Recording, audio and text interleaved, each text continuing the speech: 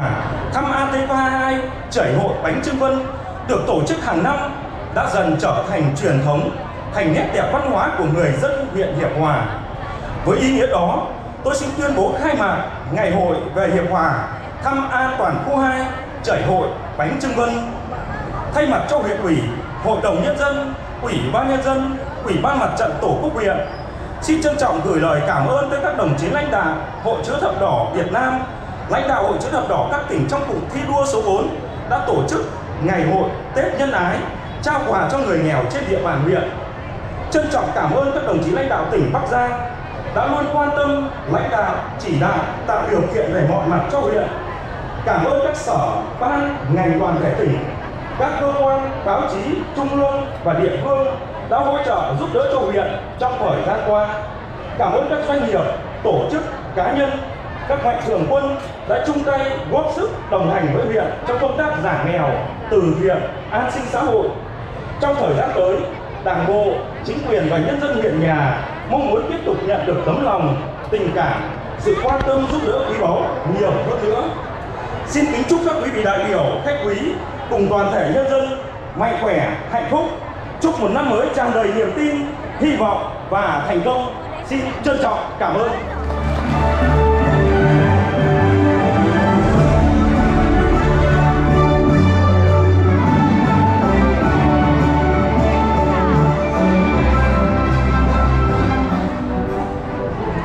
Xin trân trọng cảm ơn lời phát biểu khai mạc ngày hội của đồng chí Hoàng Công Bộ, Phó Bí thư huyện ủy, Chủ tịch Ủy ban nhân dân huyện.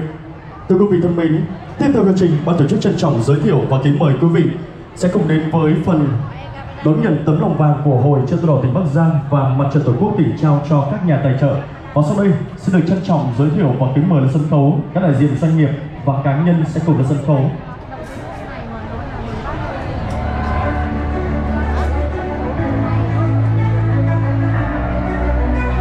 Xin mời Trung ương Hội Chữ đỏ Việt Nam.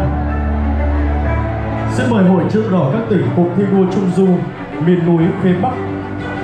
Xin mời công ty may xuất khẩu Hà Phong. Xin mời công ty trách nhiệm thương mại và dịch vụ tổng hợp Hoàng Hà.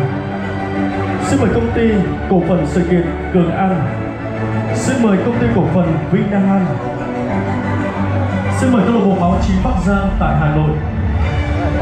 Xin mời Hội Doanh nghiệp tỉnh Bắc Giang Xin mời quý thiện tâm tập đoàn Vingroup Xin mời công ty bảo hiểm Sunline Bắc Giang Xin mời công ty cổ phần đầu tư Lợi Phong Group Cậu lên uh, quay video gì? Xin mời công ty cổ phần bất động sản Vĩnh Lên đâu nhỉ? Đại biểu à? mời bà À, huyện đại biểu à? Hương Tràng Tăng Tiến thị xã À, vâng, Việt vâng. Yên Xin mời ông Nguyễn Văn Khanh Chủ tịch Hội đồng Quản trị Công ty Cổ phần May xuất khẩu Hà Phong đã có nhiều đóng góp giúp đỡ người nghèo và chương trình an sinh xã hội tỉnh Bắc Giang 2024. Đây tôi cho các bạn nhiều Và chúng tôi cũng xin được trân trọng kính mời các đại diện doanh nghiệp và cá nhân có tên sẽ cùng vui lòng tiến lên sân khấu để cùng đến với phần đón nhận tấm lòng vàng do hội chữ đỏ tỉnh Bắc Giang và mặt trận tổ quốc tỉnh trao cho các nhà tài trợ.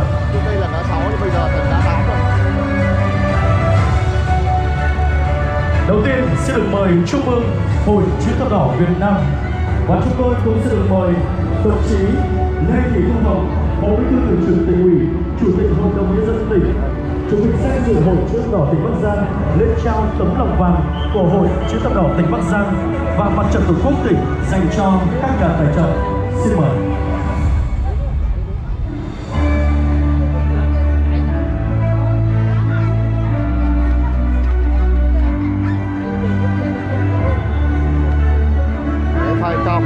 Kìa Sân khấu kìa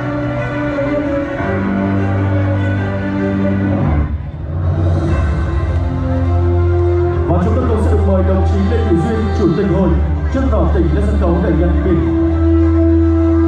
Trong tảng từ các đơn vị tài trợ.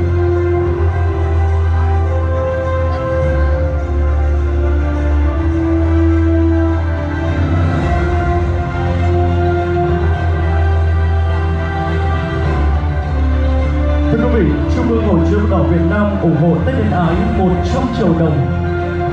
Một lần nữa xin được cảm ơn và xin được chúc mừng.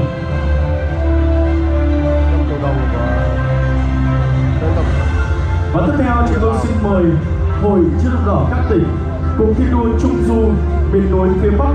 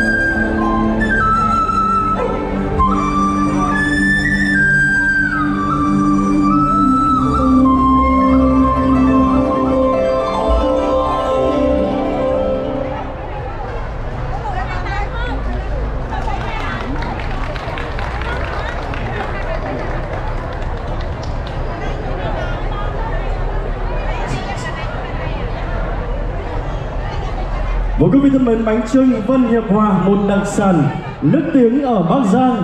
Và quý vị thấy sao với phần trình diễn vô cùng ấn tượng vừa rồi ạ? Và hãy cho chúng tôi lắng nghe một tràng pháo tay thật lớn cho tiết mục vừa rồi được không ạ? Xin cảm ơn quý vị rất nhiều. Thưa quý vị thân mến, bánh trưng làng Vân nổi tiếng ở các tỉnh lân cận đã được à, đặt mua mỗi dịp vào Tết đến xuân về. Bánh trưng Vân ngoài hương vị dẻo thơm còn độc đáo bởi dùng lá chít thay vì lá rong để gói bánh. Lá chít được cắt bỏ cuống và ngọt để mang về rửa sạch rất cẩn thận và luộc đến khi nước sôi. Làm thế để cho lá được dẻo dai và giúp bánh trắng đẹp thơm, không có màu xanh của lá. Và đó cũng chính là một trong những nét khác biệt của bánh trưng làng Vân, thưa quý vị. Và lá xít sau khi luộc được bỏ ra để gói bánh, người ta sẽ dùng gói khoảng 8 đến 10 lá xếp sát nhau, tạo thành một khối dày bản khít chắc chắn. Và tiếp theo sẽ đổ gạo, thịt và tùy theo khối lượng cũng như kích thước của bánh sẽ tạo nên rất nhiều những thưa quý vị kích cỡ khác nhau. À, các công đoạn còn lại thì tương tự như bánh trưng thông thường và bánh có hình dài tròn đều đẹp mắt. Và ngay sau đây có lẽ rằng để tiếp nối tất cả quý vị đã cùng dõi theo những trải nghiệm lúc này đến từ gói bánh trưng làm vân thì chúng tôi cũng xin mời quý vị sẽ cùng đến ngay với ca khúc về hiệp hòa cùng anh. Sáng tác nhạc sĩ lê phương bắc biểu diễn văn vế cùng tốc múa. Xin mời quý vị sẽ cùng thưởng thức và đón xem ca khúc này.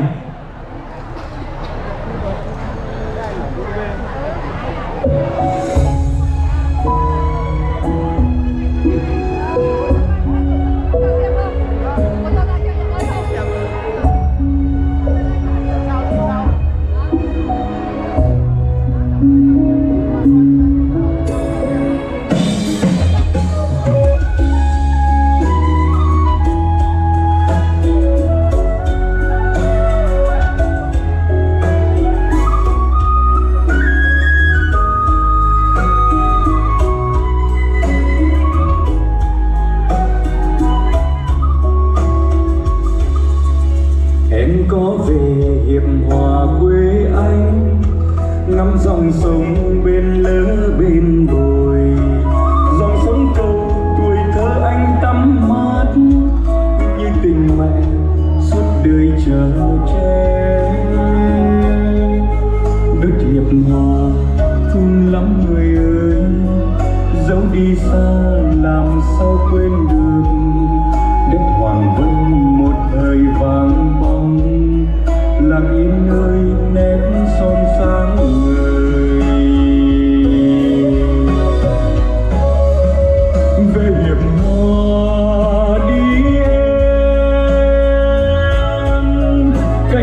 trời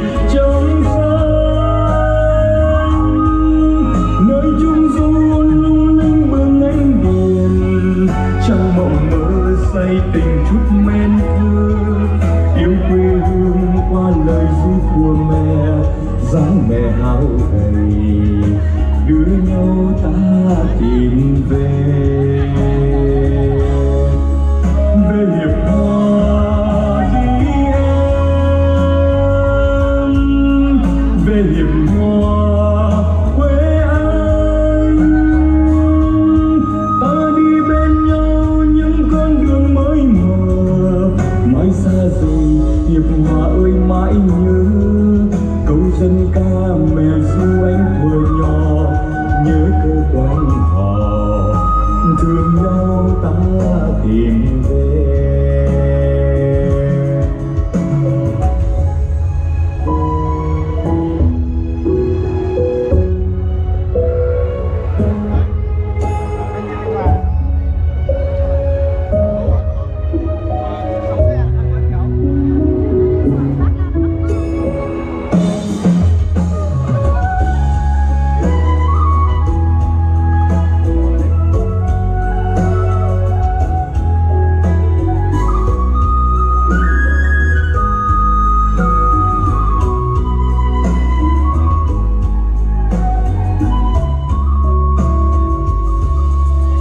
em có về hiệp hòa quê anh, ngắm dòng sông bên lỡ bên đồi dòng sông cầu tuổi thơ anh tắm mát, như tình mẹ suốt đời chờ che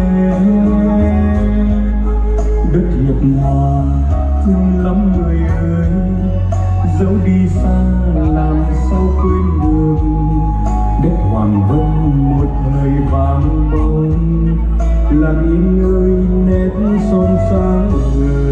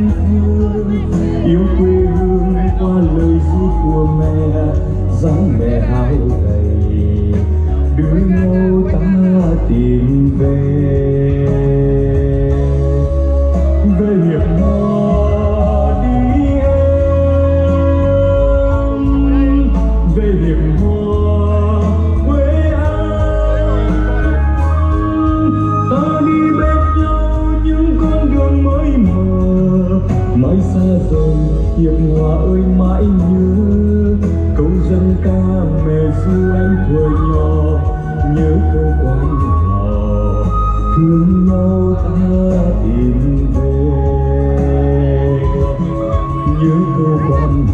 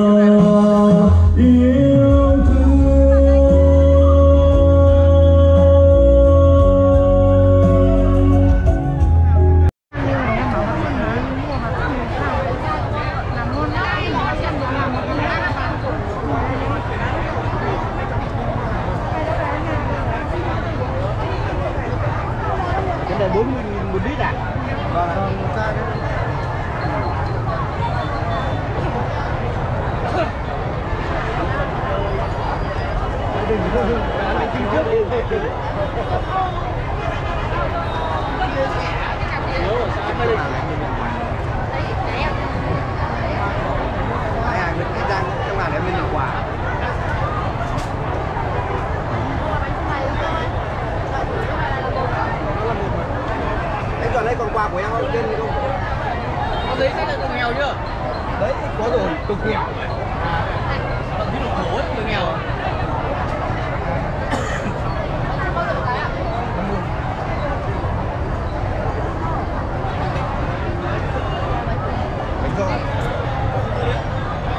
50 một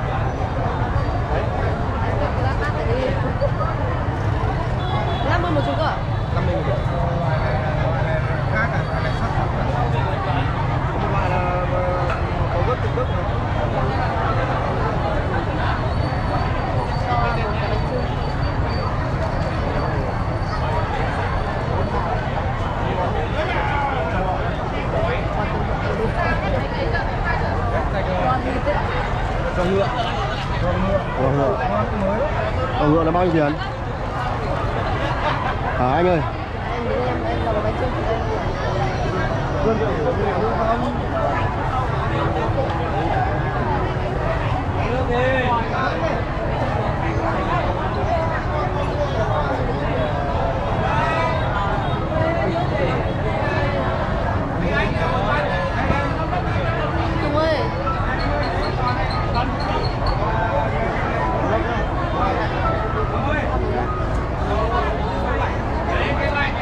Đây là bánh trưng gì hả đồng chí? Bánh trưng Vân ạ. Bánh Vân này.